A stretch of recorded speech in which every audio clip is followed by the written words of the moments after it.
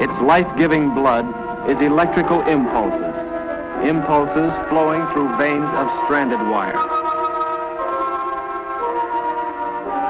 If this heartbeat should fail, a fiery death to an electronic giant.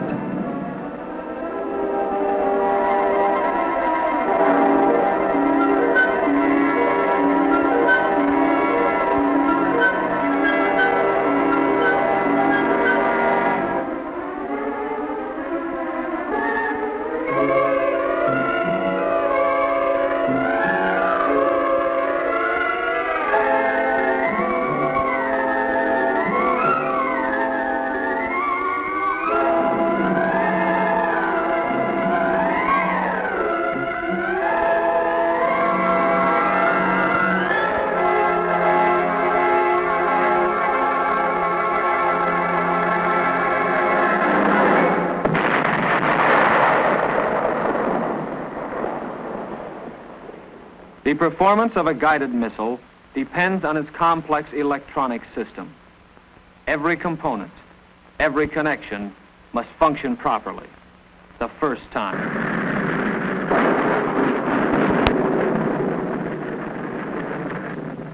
The material given the responsibility of providing this electrical continuity is solder. Solder must bond together the thousands of small components and hold them through the strain and vibration of a missile flight. To do its job, solder must be applied properly. To use solder and to achieve the perfection demanded in airborne electronics, we must first thoroughly know and understand it. The art of soldering is known to have existed long before this book was written. The ancient Egyptians used solder to bond together pitchers and urns. Medieval cathedrals were adorned with the beauty of stained glass windows through the use of solder. Solder is one of the oldest, simplest, and most widely used metals in the world. Largely because of its simplicity, solder has been often taken for granted. Today, however, in metallurgical laboratories, solder is the subject of exact scientific study and analysis. This quantometer is used to test and record the exact amounts of various elements present in solder alloys. Every lot of solder produced is tested for compliance to rigid government and commercial specifications. The spectrograph serves as a further safeguard against the possible presence of foreign material, thus ensuring the absolute purity of the solder product. Today, solder is available in many forms from larger sizes called ingots to the minute preforms, which are used when a predetermined amount of solder is to be applied. Powder and paste forms provide ease of application in those hard-to-reach areas.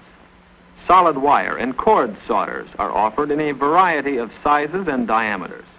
Solder is an alloy, simply a mixture of tin and lead. But what makes this alloy so useful is a quirk of nature. Notice the melting point of solder is nearly 100 degrees lower than that of tin or lead. Here is a combination of two metals that for some reason will melt at temperatures nearly 100 degrees lower than the two metals it's made of.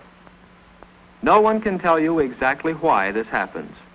It's simply one of those unpredictable quirks of nature that the human race, without completely understanding, can harness to its own advantages.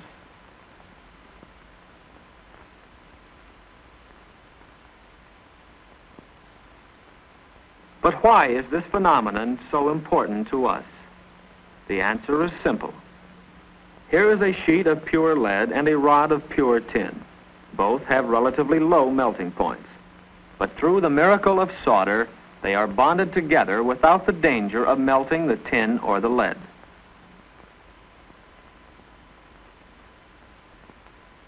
For example, the seams of an ordinary tin can are soldered together and without damaging or melting the tin. Now let's see how solder works.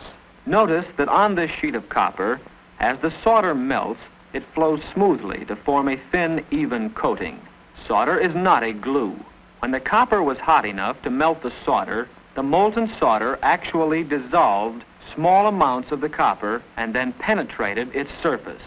In this cross-sectional drawing, we can see that the molecules of the two metals have actually blended together here to form one new metal, which is part solder and part copper. This mixing of the molecules is called the wetting action. To obtain good wetting action is not always that simple. On this thoroughly clean sheet of copper, you will notice a marked difference in the reaction of the solder. It seems to ball up and not flow smoothly as it should. A cross-section would show large areas where the two metals have not blended together. The mixing of the molecules, the wetting action, has not taken place properly. In the first demonstration, the two metals are permanently fused together. Because of good wetting action, the solder is completely embedded in the copper and cannot be pried off. But the solder in the second demonstration is easily debonded from the copper. But why should good wetting action occur in one piece of copper and not on the other? The answer is simply air. When a clean metal surface is exposed to air, a chemical reaction occurs called oxidation. When heat is applied, as in a soldering operation, the oxidation is greatly speeded up and produces a non-metallic film that will prevent solder from touching the base metal. This film of oxidation makes good wetting action impossible. So even though our metal had been cleaned thoroughly beforehand, the oxides in these areas formed while we heated the copper and prevented the solder from bonding. These oxides must be removed or prevented during the solder operation. For this we use chemicals called fluxes. There are many types of fluxes. However, only those derived from natural rosin are acceptable in soldering electrical connections. When the heat required for soldering is applied, the surface of a clean metal will quickly oxidize. The flux must dissolve and remove these oxides. As you can see, the area around the flux has discolored, while beneath the flux, the metal is clean and ready to accept solder. For ease of application, solder and flux are produced in a combination called core solder. The rosin flux is contained within the solder itself. Cored solders are manufactured with various core designs. With this cutaway model of cored solder, we are able to see exactly how the solder-flux combination can work together. The flux must have a melting point lower than that of solder, thus enabling the flux to reach the metal first and prepare the way for the solder.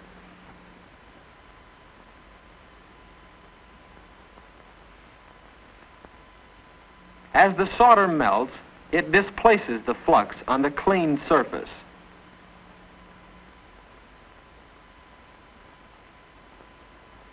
Flux also helps solder to flow as it should, then rises to the top and is pushed to the outer edges, carrying with it the oxides it has removed.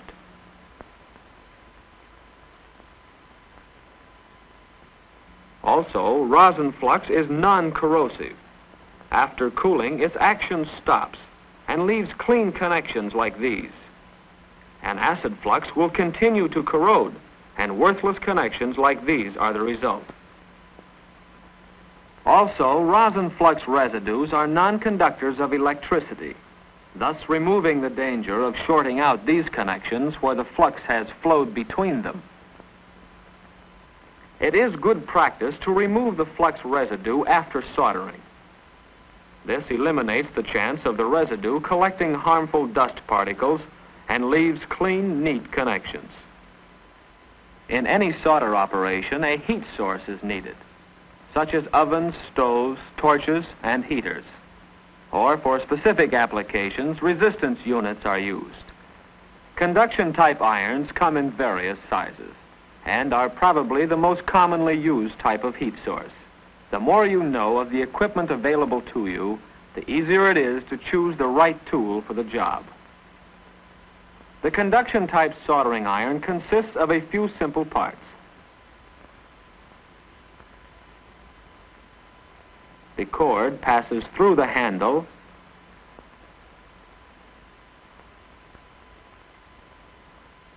to a heating element, which in turn transmits the heat to the tip of the iron. The tip stores the heat and through conduction passes it on to the work. The tip of a new iron must be prepared before being used to solder.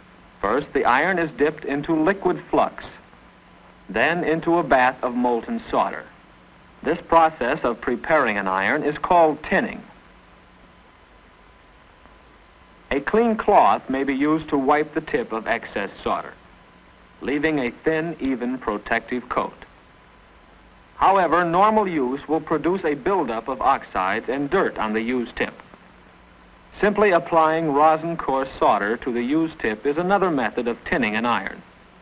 This coating of solder on the tip greatly increases the transmission of heat from the iron to the work. Tinning also keeps the tip clean, which is imperative for clean connections.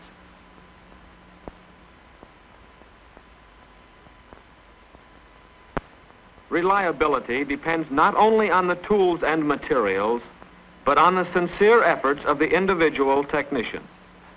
With a thorough understanding of your tools and materials, the next step is to acquire the proper technique with which to use them. The way you hold the soldering iron is up to you. Comfort and ease of handling are most important. But proper technique is the way you use the iron. For good wetting action, the metal to be soldered must be as hot as molten solder. For this reason, we heat the connection and then apply the solder. The connection actually melts the solder.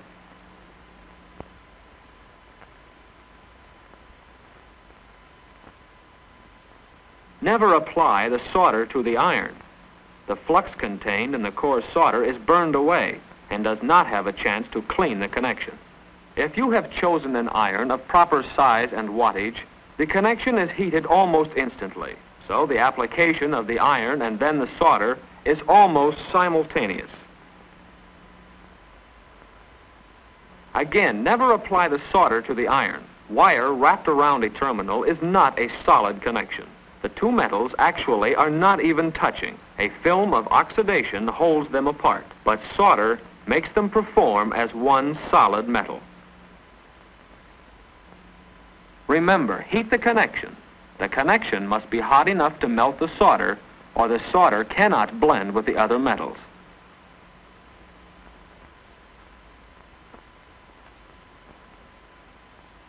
Wait a minute, the iron was removed too soon. Because of insufficient solder, the wire and the terminal cannot perform as one solid metal.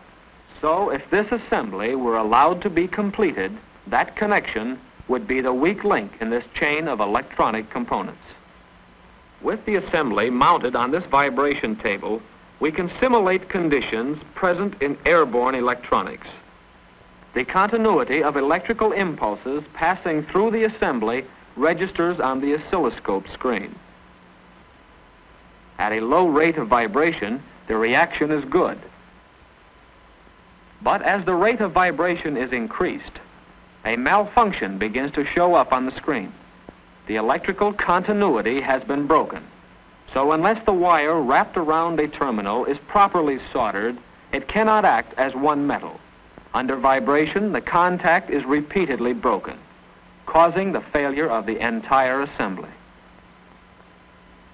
Although the connections differ from the terminal type, the technique of soldering on a printed circuit board is basically the same.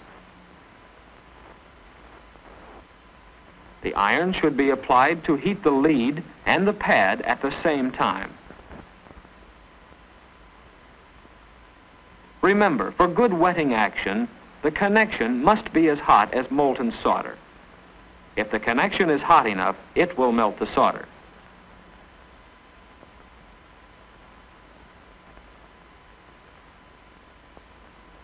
Without enough heat, the solder cannot fuse with the other metals, and a cold joint will result. A cold connection cannot function as one solid metal. But as long as the connection is hot enough to melt the solder, there is little danger of a cold joint.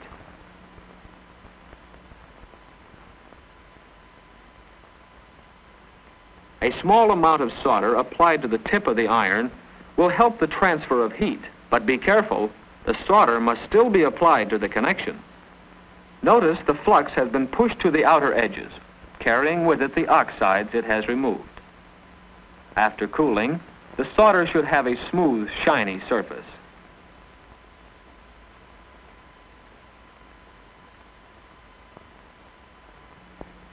Be careful not to overheat the connection. Too much heat could debond the pad from the board.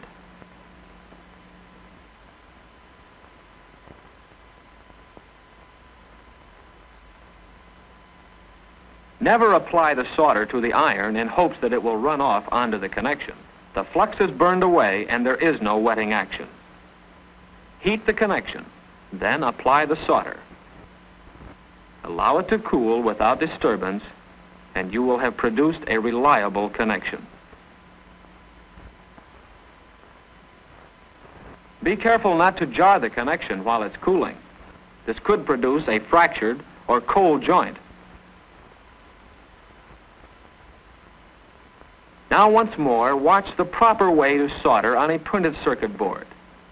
Good technique will always produce a reliable connection.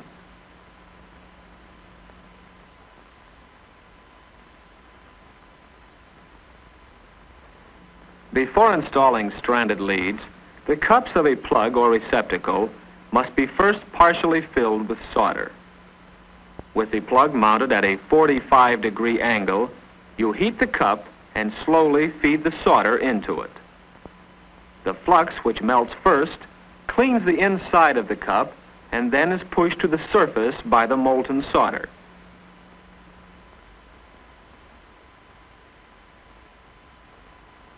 Then the pre-filled cup must be reheated and the lead inserted.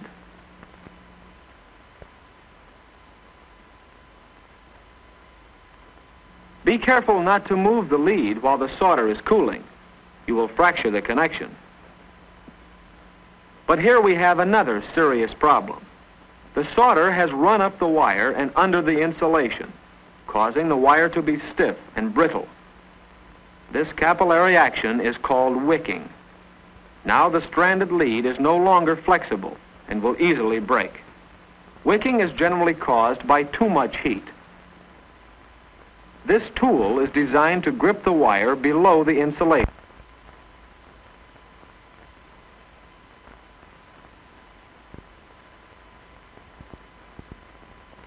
Notice that without wicking, the stranded lead remains flexible. When installing leads, special care must be taken to avoid burning the insulation of wires already installed. Do not remove the wicking tool until the solder has solidified.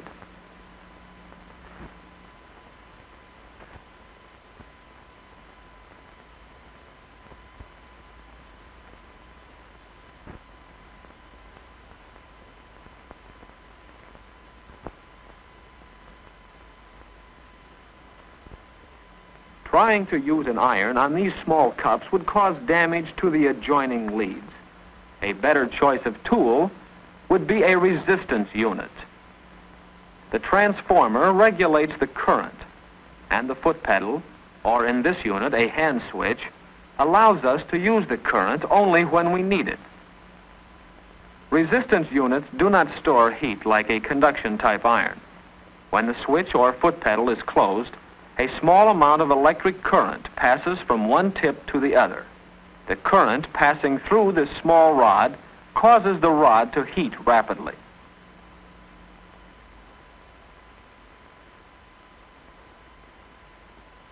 With a resistance unit, you are able to pinpoint the heat, thereby not endangering the surrounding connections. When the pedal is depressed, only the cup between the tips will be heated.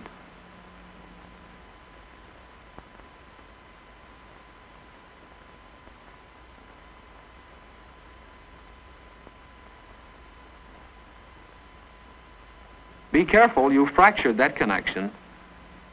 By removing the wicking tool before the solder had completely solidified, a fractured joint will result. It's easy to see that this connection cannot perform as a solid piece of metal. In most cases, a fractured connection can be repaired by reheating the cup.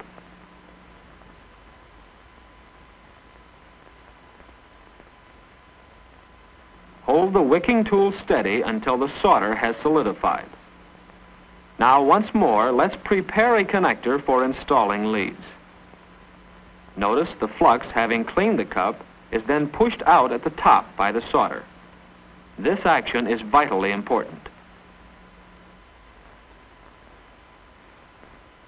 If there is insufficient heat, the flux cannot escape and will form a rosin pocket at the base of the cup. A rosin pocket will seriously affect the conductivity of the connection. But if you're careful to feed the solder slowly and maintain sufficient heat, the flux will all rise to the surface, allowing the solder to settle in the cup, leaving no vacant or void areas.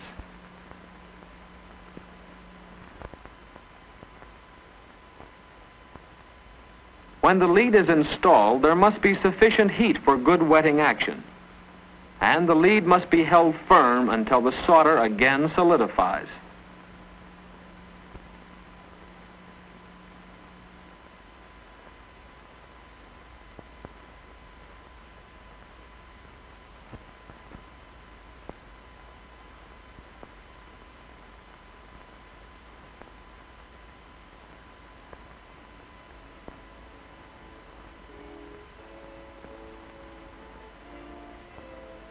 This one unit has over 16,000 soldered connections. One bad connection and the entire unit is worthless. To achieve reliable, dependable soldered connections, three things are important. First, thoroughly know and understand the tools and materials available to you. You want the right tool for the job. Second, master the proper technique with which you use those materials. There is no such thing as good enough. You must be an expert. Third and most important, you must understand the seriousness of your job. You may never know what will depend on the connections you have made.